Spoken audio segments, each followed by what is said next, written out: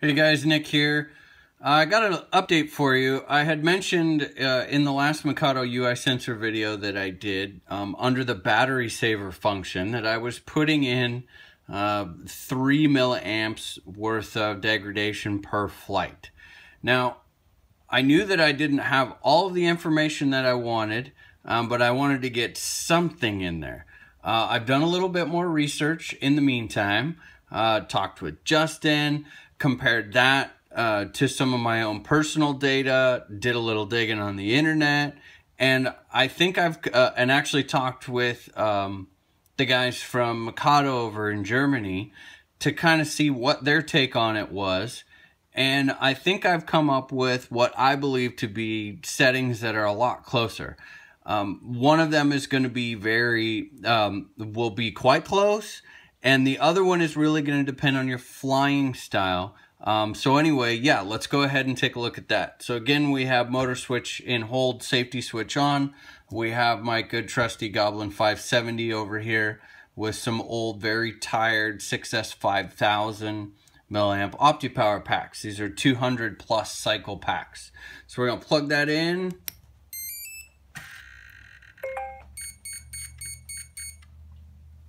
Uh, this one is 5000 number two. And when I go here, I'm going to go down to application setup and battery logbook and then into battery saver. Now, down here, um, we have store aging and flight aging. Now, before, um, I had kind of ballparked, okay, well, about 3 milliamps worth of loss per flight. But there's a lot more to it than just the milliamp per flight number. That's going to depend on your pack size.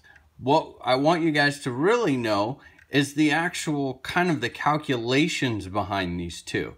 So for store aging, that is the one that's going to be fairly more accurate. There's been a lot of uh, studies. You can Google it and find, um, you know, storage capacity per storage time a lot of this will depend on your storage conditions. We're going to start talking about this a little more on the podcast as well, but you know, we really, really need to be storing our batteries at storage voltage, about 3.85 or 3.8 um, 3.8 volts per cell. It makes a huge difference in the long run. I am a major culprit of this. I am horrible about it. And boy, let me tell you, when I started looking at some of these charts on how much more drastically the pack loses capacity when stored at 4.2 volts per cell, I will never be doing it again. I mean, it's not worth it.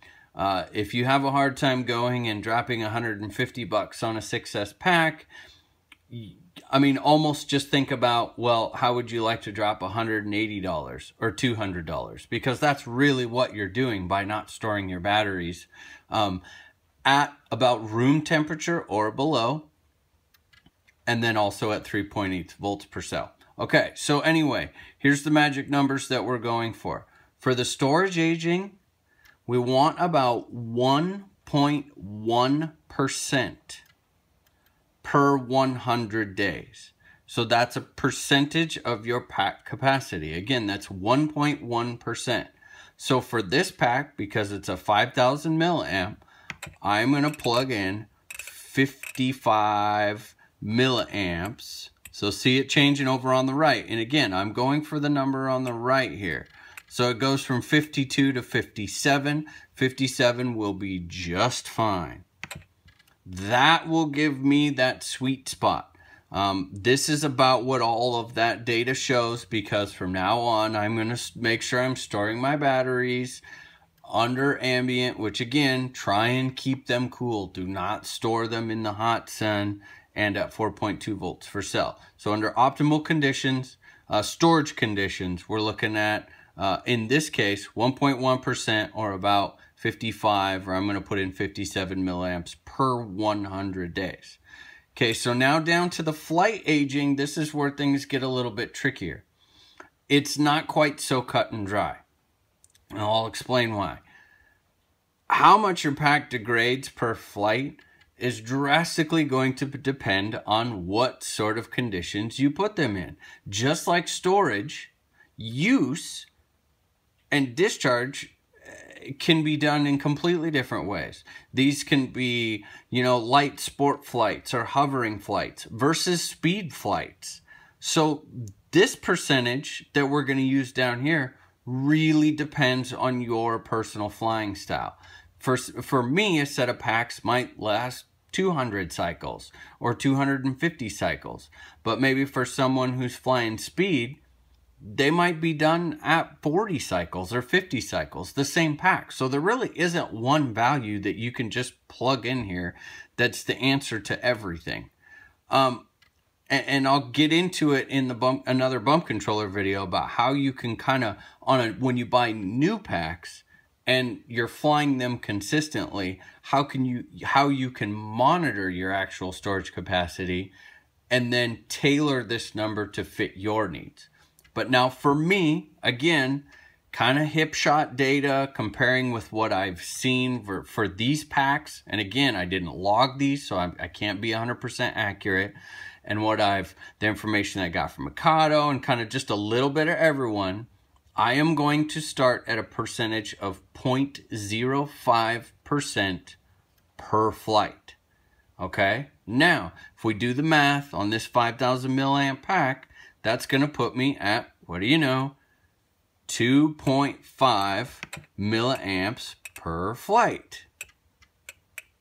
But here's where it gets tricky. So we got three over there, and flight, 80, flight aging is 10.